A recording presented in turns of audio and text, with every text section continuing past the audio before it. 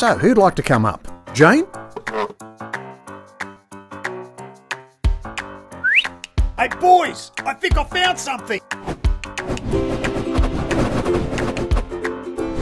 Now stick to the screen, boys.